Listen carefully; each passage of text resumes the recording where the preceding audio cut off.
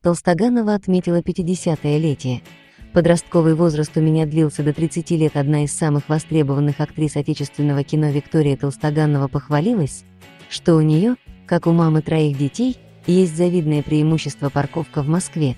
Это невероятно, когда ты можешь парковаться в любом месте бесплатно и стоять сколько угодно. Мне завидуют все. Напомним, что в браке с сокрусником Андреем Кузичевым Виктория родила сына Федора и дочь Варвару. Сразу после развода у актрисы начался роман с режиссером Алексеем Аграновичем. Влюбленные живут в гражданском браке, и у них родился сын Иван в 2011 году. Толстоганова призналась журналистам, что она за годы семейной жизни поняла, что вообще ничего не понимает в семейной жизни. Актриса рассказывала, что желание стать матерью появилось у нее только ближе к 30, хотя она вышла замуж в 24 года. Я долго не могла забеременеть, потому что в свое время слишком много делала, чтобы детей не иметь. Подростковый возраст у меня длился до 30 лет, поделилась Виктория. Уважаемые зрители и подписчики, сейчас минутка вашего внимания –